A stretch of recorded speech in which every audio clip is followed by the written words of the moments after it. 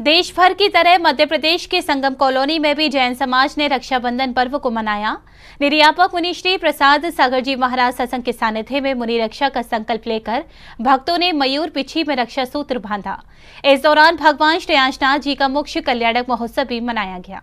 जबलपुर के संगम कॉलोनी स्थित जैन मंदिर में रक्षाबंधन पर्व मनाया। नवाचार्य श्री समय सागर जी महाराज के आगे अनुवर्ती शिष्य, ज्येष्ठ निर्यापक मुनिश्री प्रसाद सागर जी महाराज के सानिध्य में रक्षाबंधन पर्व धूमधाम के साथ मनाया। प्रभु अभिषेक एवं शांति धारा के साथ कार्यक्रम का शुभारंभ किया गया।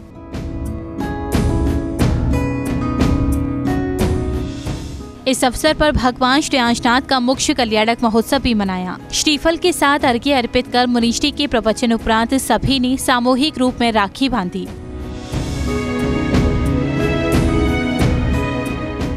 सात सौ मुनियों पर हस्तिनापुर में हुए उपसर्ग पर आधारित नाटिका का मंचन हनुमान ताल के बच्चों द्वारा किया गया।